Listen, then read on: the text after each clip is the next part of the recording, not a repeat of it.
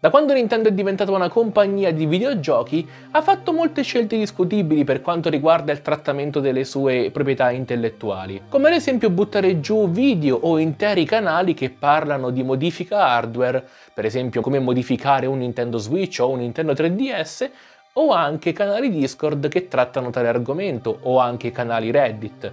Insomma, un po' di tutto. C'è stato anche il caso del programma di affiliazione con Nintendo per quanto riguarda YouTube. Dal 2015 al 2018, se caricavi contenuti first party, per capirci giochi di Mario e Zelda, non potevi farlo se non eri affiliato appunto a Nintendo. E che cosa prevedeva questo programma di affiliazione? Il 40% del ricavato dei video andava a Google, come è normale anche per qualsiasi altro programma di affiliazione, mentre il restante 60% veniva distribuito tra il creator e Nintendo.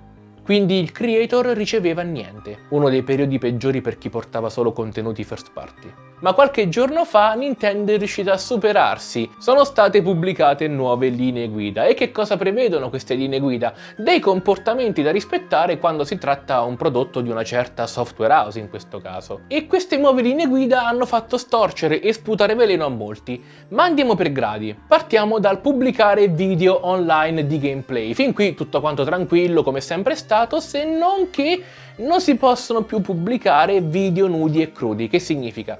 registri gameplay e lo pubblichi senza modifica alcuna. Ecco, ora non va più bene, devi per forza metterci qualcosa di tuo. Anche un commentary va bene, quindi tu che dici Sara Cadula Magica Bula per tutto il video va bene comunque. Ma non puoi metterlo senza alcun tipo di audio tuo o una modifica pesante del contenuto, nel senso che il prodotto diventa originale e non il semplice gameplay. Ora ci mancava anche questa, ma questo solo per i contenuti first party, quindi Mario, Zelda e company. Questa linea guida invece è un po' più strana. Non puoi pubblicare né immagini né video di un gioco che ancora non è uscito. E grazie perché pubblicare tale contenuto equivarrebbe a pirateria del gioco e quindi è normale che ti becchi una denuncia, no? E invece no, perché se sei giornalista puoi farlo. Ed è molto strano perché io praticamente ora apro una partita IVA da giornalista e posso pubblicare un gioco che ho piratato. Questo è quello che c'è scritto nelle linee guida, o meglio, come lo interpreto io. Un po' strana sta linea guida, perché poi continua che per i contenuti third parties, quindi un gioco per esempio Splinter Cell domani arriva su Nintendo Switch, e se la casa produttrice mi dà il benestare posso pubblicarlo anche giorni prima dall'uscita. In quel caso Nintendo se ne lava le mani e ci pensa la casa produttrice. E ora la parte che ha fatto sputare veleno. I tornei non ufficiali. Apriti cielo, i tornei non ufficiali non potranno più essere svolti. O meglio, si potranno svolgere ma sarebbe meglio non farli per niente viste le restrizioni che hanno applicato. Ad esempio, un numero massimo di partecipanti in loco a questo torneo non ufficiale è 200. Un po' pochini, mentre online 300. Posso capire, quasi capire, un torneo che lo fai in un luogo fisico, 200 persone, sono tante, Va bene, mentre online, che partecipano anche ai giochi più beceri, quasi mille persone, proprio quelli più brutti di tutti che nessuno si caga, quasi mille persone, e non me ne fai almeno mille, no, 300 massimo. Non va bene per niente. Vabbè, dai, c'è un monte premi di denaro piuttosto cospicuo. no. Tetto massimo 5.000 euro. Parlo di euro perché l'articolo è italiano che poi questi 5.000 euro sono stati ritrattati perché all'inizio era nessun montepremi, cioè tu non potevi neanche dare un montepremi in denaro al miglior giocatore di quella categoria. Quindi, almeno sotto questo punto di vista, un po' si sono ripresi, salvo poi che le cose peggiorano. Non puoi avere sponsor paganti.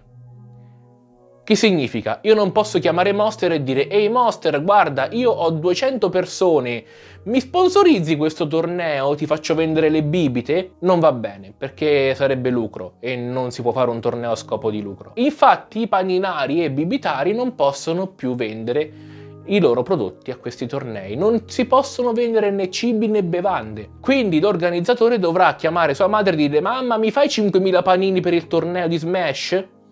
E poi tutto questo devi notificarlo a Nintendo. E gli deve pure andare bene che lo fai. Perché se non gli va bene che dici 201 persone, eh, eh amico mio, ciao, tanti cari saluti, non si fa il torneo. Tutto questo è deleterio.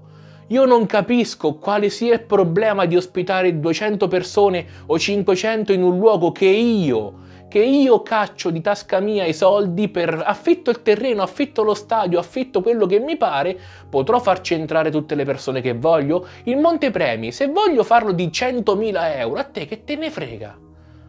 Sono soldi tuoi? No, sono soldi miei che ho, che ho fatto con gli sponsor. Perché devi dare queste limitazioni assurde e perché poi devo notificarti tutto e ti deve pure andare bene? Dove è scritto? Nelle linee guida da oggi. Io trovo strano che abbia pubblicato delle linee guida intelligenti tipo non pubblicare il gioco prima dell'uscita, va bene, reiteriamolo ancora una volta per chi non lo sa, e poi pubblicarmi sta cosa dei tornei non ufficiali. 200 persone fisiche, 300 online. Boh, io non ho parole. Però va così, io non ho ben chiaro cosa abbiano in mente, ma di certo queste linee guida hanno solo dato modo ad altri di sputare altro veleno e far uscire peggio delle persone ancora una volta, ma tanto era Twitter, è un po' come sparare sulla Croce Rossa.